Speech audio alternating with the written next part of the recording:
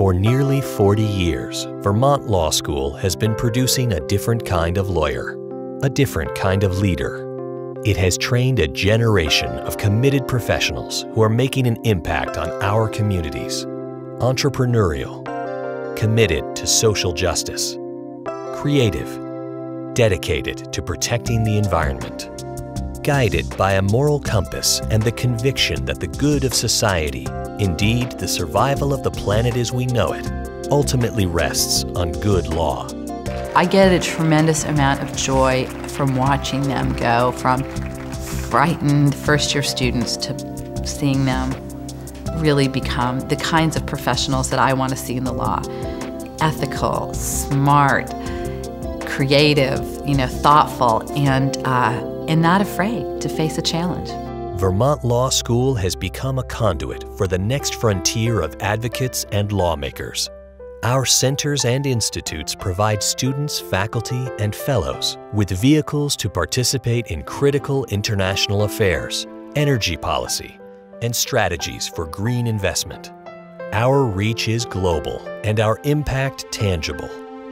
Now, more than ever, VLS students have an opportunity to learn from internationally renowned experts. And as we continue to graduate the next generation of environmental policy experts and public interest advocates, Vermont Law School has become an incubator for environmental and clinical legal excellence.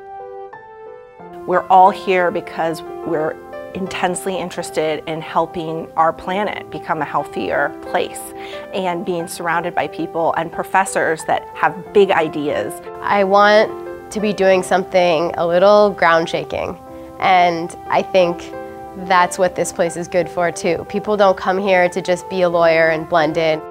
As the legal education in America continues to develop, so too does a growing emphasis on clinical and experiential programs. As Vermont's only law school and one of only a handful of standalone law schools, VLS is uniquely positioned to provide students with experiences that make a difference and become hallmarks of their education.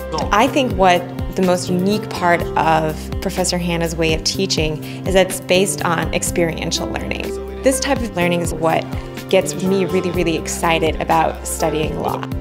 Our two flagship clinics will soon live in a state-of-the-art, environmentally sound, historically preserved building in South Royalton, offering a new connection to the community providing more services to those in need, and overseen by dynamic leadership. Vermont Law School's commitment to the public, the underserved, the environment, and our students is paramount. I see being a lawyer as really learning how to be an advocate for a cause. For nearly 40 years, Vermont Law School has fought to play above its weight and accomplished extraordinary feats with far fewer resources than its peers. Its ethos, leadership, faculty, and students keep VLS competitive with larger, older institutions that operate with the benefit of substantial endowments. As it celebrates recent accomplishments, Vermont Law School looks to the future with tremendous excitement for opportunities to come. Why invest in Vermont Law School?